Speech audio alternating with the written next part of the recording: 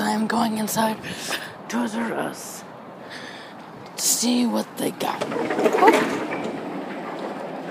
I said that they have see.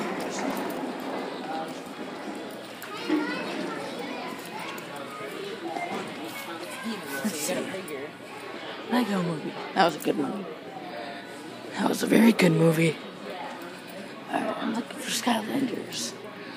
They said, I called them, they said they have Fryno. And I'm after Fryno. So, see if anybody took it before I got here. Today is two Tuesdays, so Tuesday the 25th. Fourth. I actually had done recording, so here's Fryno.